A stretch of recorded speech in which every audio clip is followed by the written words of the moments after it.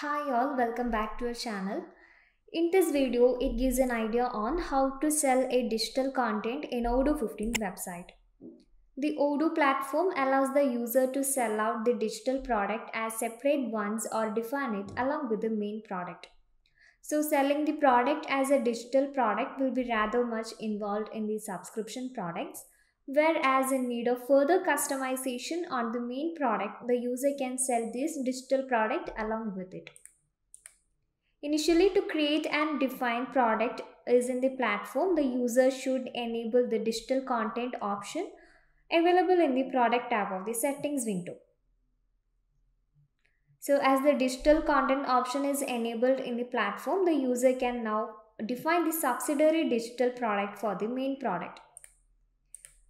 To define the digital content, the user can select the respective product from the product menu of this website module and you can select the product from here or else you can create a new one.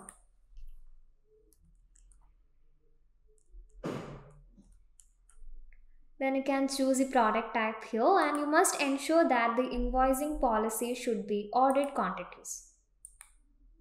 And here we can add the sales price. Then here we can see a smart tab uh, digital file. So click on that and we will uh, redirect to a new window. From here we can uh, create a new digital attachment.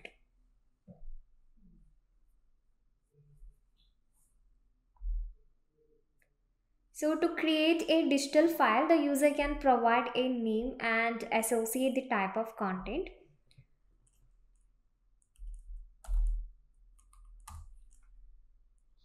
So it can be defined as a file or a URL where the content can be expensed. So in the uh, case of type is chosen as a file, the user can add the respective file from the system or the drive if available. In addition, uh, the website in which the respective digital content should be described can be specified.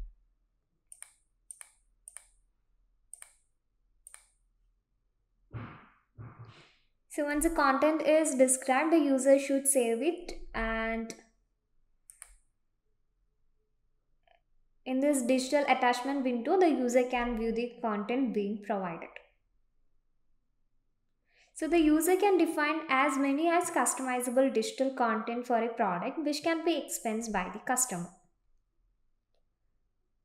So to demonstrate uh, the operation, let's uh, publish this uh, product before that.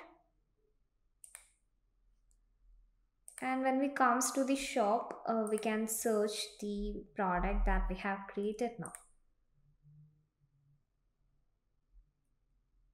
So we can add this product to the cart. And we can process the checkout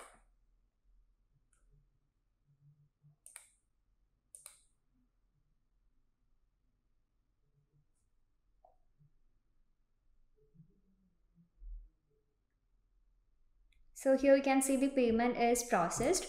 So uh, when we uh, check the user's account, here we can see the sales order. So click on that.